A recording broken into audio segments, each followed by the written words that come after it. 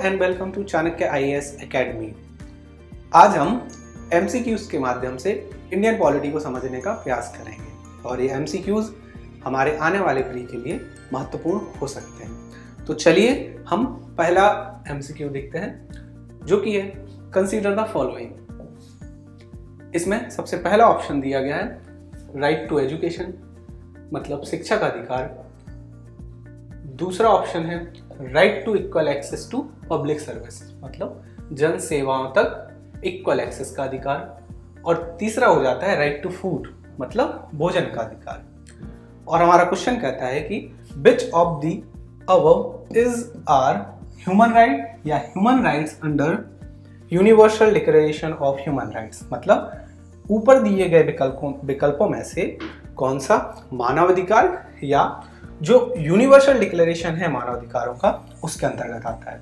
और हमारे यहाँ पे विकल्प है। पहला विकल्प है वन ओनली दूसरा है वन एंड टू ओनली तीसरा है थ्री ओनली और चौथा है वन टू एंड थ्री तो अगर हम इस क्वेश्चन को देखें, इसमें क्या बोला गया? ह्यूमन राइट्स और यू डी एच आर के अंदर आने वाले ह्यूमन राइट तो अगर हम इस क्वेश्चन के विकल्प को एक एक करके देखें तो राइट टू एजुकेशन तो बेसिक राइट में होता है। भारत में भी ये फंडामेंटल राइट है। दूसरा देखें right to equal access to public service अगर हम किसी भी डेमोक्रेसी की बात करें तो डेमोक्रेसी में होता क्या है? एक डेमोक्रेसी में जो गवर्नमेंट फॉर्म होती है, वो कौन करता है? लोगों के थ्रू होती है। या तो डायरेक्ट डेमोक्रेसी हो सकती है, या इनडायरेक्ट डेमोक्रेसी होगी। तो इसी माध्यम से क्या होगा? पब्लिक का पार्टिसिपेशन बढ़ा और यही तो अधिकार हो जाएगा, यही तो राइट है। पब्लिक का पार्टिसिपेशन ही तो पब्लिक का राइट है। तीसरा हम देखें तो राइट टू फ़ूड ये भी बेसिक ही राइट है। तो अगर हम नहीं भी जानते कि यूडीएचआर क्या है फिर भी हम इसका आंसर दे सकते हैं कि तीनों ही यूडीएचआर या ह्यूमन राइट्स में आने चाहिए।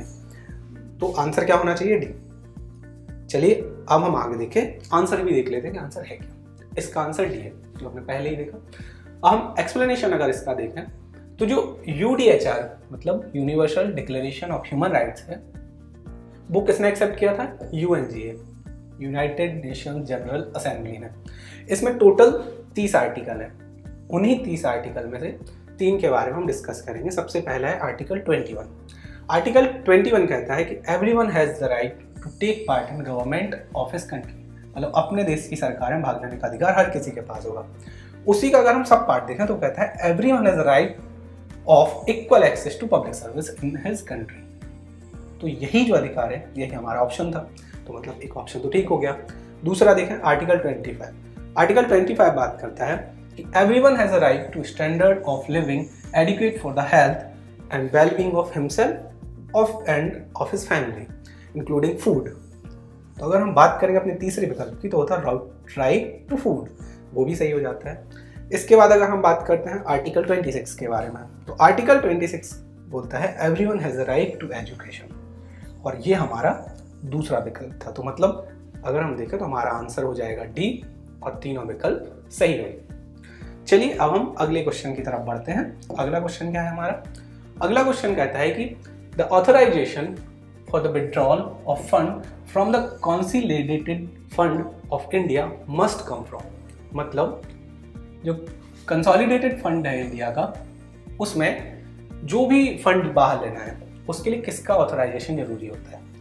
विकल्प ए कहता है द प्रेसिडेंट ऑफ़ इंडिया विकल्प बी कहता है द पार्लियामेंट ऑफ़ इंडिया विकल्प सी कहता है the prime minister of India और विकल्प डी कहता है द यूनियन फाइनेंस मिनिस्टर चलिए, हम इसका आंसर देख लेते हैं।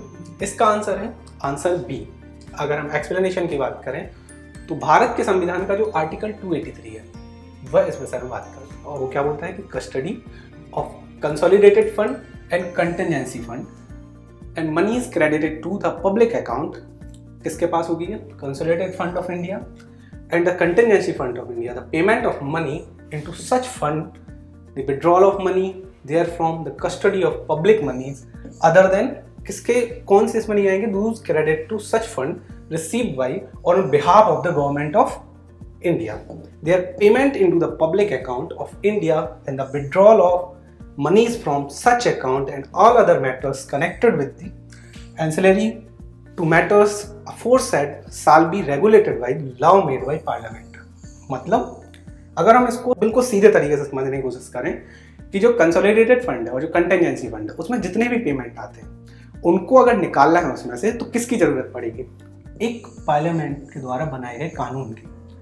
उसके माध्यम से ही केवल हम फंड ले सकते हैं। तो किसने बनाए हैं? Regulated rules made by the president rules इसके प्रेसिडेंट बनाएगा। लेकिन ऑथोराइजेशन किसका ज़रूरी है? ये ज़रूरी है पार्लियामेंट का। तो हमारा आंसर हो जाएगा यहाँ पे। Answer B the parliament of India चलिए, अब हम तीसरे क्वेश्चन की तरफ़ बढ़ते हैं। तीसरा क्वेश्चन कहता है हमारा all revenues received by the union government by way of taxes and other receipt for the conduct of government business मतलब जितने भी फंड मिलते हैं, जितनी रिसीप प्राप्त होती है मतलब टैक्सेस होते हैं अदर जो जितनी भी रिसीट होती हैं, वो किसमें जाती हैं? यहाँ पे हमारे ऑप्शन हैं। पहला ऑप्शन है contingency fund of India second option है पब्लिक अकाउंट थर्ड ऑप्शन है कंसोलिडेटेड फंड ऑफ़ इंडिया और last option deposits and advances fund अगर हम बात करें कि इसका आंसर क्या हो सकता है तो चलिए हम आंसर की तरफ़ बढ़ते हैं और जान लेते हैं कि इसका आंसर क्या है। इसका आंसर होगा आंसर सी आर्टिकल 266 यहाँ पे बात करता है कंसोलिडेटेड फंड ऑफ़ इंडिया के बारे में। और इसमें ही जो 266 ए है, वो बात करता है पब्लिक अकाउंट मतलब लोक लेखा के बारे में। और ये दोनों बताते हैं कि जितने भी इसके प्रोविजंस हैं आर्टिकल 20 267 या 266 जहाँ पे 267 बात करेगा कंटेंजेंसी फंड के बारे में तो इन सब में जितने भी प्रोविजंस हैं और इसके जितने भी रिस्पेक्ट हैं, उसमें सारे revenues received by the government of India और loans raised by that government by the issue of treasury bills loan और ways and means advance ways and mean advance क्या होता है? इसको डब्ल्यू एम ए के नाम से भी कई बार बोला जाता है।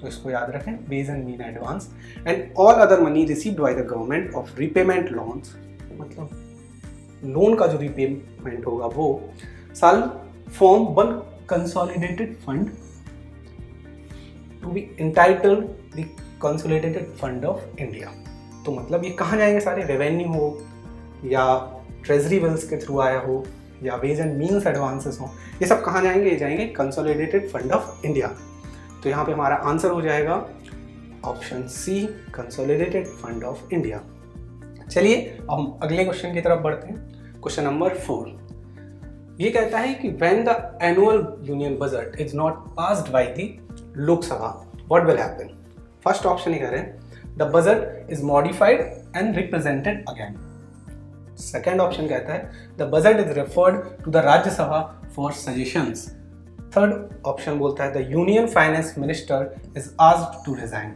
कौन? यूनियन फाइनेंस मिनिस्टर और लास्ट ऑप्शन बोलता है the prime minister submits the resignation of council of ministers इसमें क्या हो सकता है?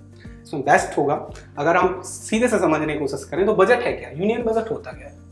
ये गवर्नमेंट की पॉलिसी के फॉर्म में है ना? और इसको किसकी बैकिंग होनी चाहिए मतलब? इसको गवर्नमेंट की बैकिंग होगी और गवर्नमेंट किसकी होगी? जिसके पास लोकसभा में मेजॉरिटी होगी। और अगर ये नहीं पास होता तो मतलब गवर्नमेंट के पास लोकसभा में मेजॉरिटी नहीं बची। तो इस कंडीशन में कॉन्स्टिट्यूशन क्या कहता है? कि जब गवर्नमेंट के पास लोकसभा में मेजॉरिटी ना हो तो गवर्नमेंट को डिसॉल्व कर दिया जाएगा। तो इसमें होगा क्या? मतलब प्राइम मिनिस्टर ही रिजाइन कर देगा। प्राइम मिनिस्टर पे नो कॉन्फिडेंस मोशन चल रहा है, ऐसी ही प्रक्रिया हो जाएगी। मतलब उसी के लगभग बराबर की चीज़ होगी, अगर बजट पास नहीं हो पाता। तो क्या करेगा? वो रिजाइन कर देगा।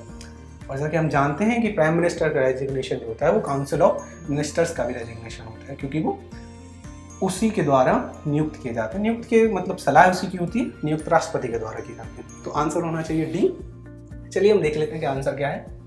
इसका आंसर है आंसर अब बात कर लेते हैं हम थोड़ा सा एनुअल फाइनेंशियल स्टेटमेंट की ये किसमें है? ये आर्टिकल 112 आर्टिकल 112 यहाँ यह ध्यान रखना ज़रूरी है कि भारत के संविधान में कहीं भी बजट मेंशन नहीं है।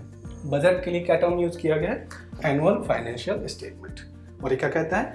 In case if a policy statement like annual budget is not passed by the Lok Sabha then it is equivalent to losing vote of confidence उसी के बराबर है जिस तरीके से वोट ऑफ़ कॉन्फिडेंस लूज हो जाता है ऑफ़ द रूलिंग पार्टी और it is same as passing of no confidence motion मतलब अविश्वास प्रस्ताव पारित होने के जैसा है। क्योंकि लोकसभा में मेजोरिटी होनी चाहिए। अगर मेजोरिटी होती तो आराम से पास हो जाता, लेकिन हुआ क्या? वो नहीं पास हुआ तो मतलब आपके पास अब कॉन्फिडेंस नहीं बचा उसका, लोकसभा का। और इसमें होगा क्या? प्राइम मिनिस्टर सुट रहे तो विकल्प डी हमारा सही आंसर हो जाएगा। चलिए, अब हम अगले क्वेश्चन की तरफ़ बढ़ते हैं और देख लेते हैं अगला क्वेश्चन क्या कहता है। अगला क्वेश्चन कहता है under the constitution of India which one of the following is not a fundamental duty विकल्प देख लेते हैं, कौन सा? To vote in public election विकल्प बी कहता है to develop the scientific temper तीसरा ऑप्शन कहता है to safeguard public property last option बोलता है to abide by the constitution and respect its ideals चलिए हम देख लेते हैं इसका आंसर क्या है। इसका आंसर है ऑप्शन ए। ऑप्शन ए कहता है वोट इन पब्लिक इलेक्शन ये फंडामेंटल ड्यूटी में नहीं आता। बाकी सारे फंडामेंटल ड्यूटीज़ में आते हैं। तो चलिए हम बात कर लेते हैं जरा सी यहाँ पे फंडामेंटल ड्यूटीज़ के बारे में। तो भारत का जो मूल संविधान था मतलब उन्नीस सौ उनचास में जो लागू किया गया था 26 जनवरी 1950 को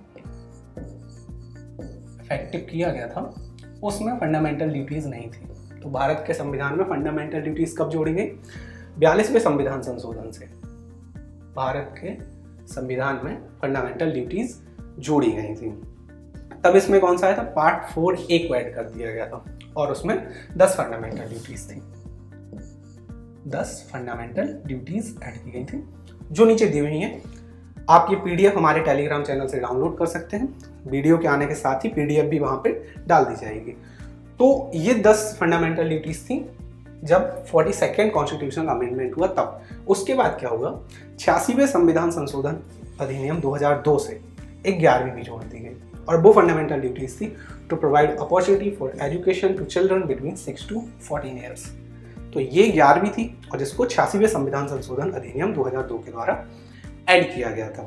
तो यहाँ हमने जान लिया कि जो हमारी फंडामेंटल ड्यूटीज़ हैं, उसमें कहीं भी पब्लिक इलेक्शन में वोट करने की ड्यूटी हमारी नहीं है। तो यहाँ पे आंसर हो गया हमारा ए तो चलिए यहाँ पे हम इस वीडियो को समाप्त करते हैं। आगे ऐसे ही नए नए क्वेश्चंस और सब्जेक्ट के बारे में जानने के लिए आप हमसे जुड़े रहें। हमारे चैनल को सब्सक्राइब करें वीडियो को लाइक करें ज़्यादा से ज़्यादा शेयर करें। धन्यवाद।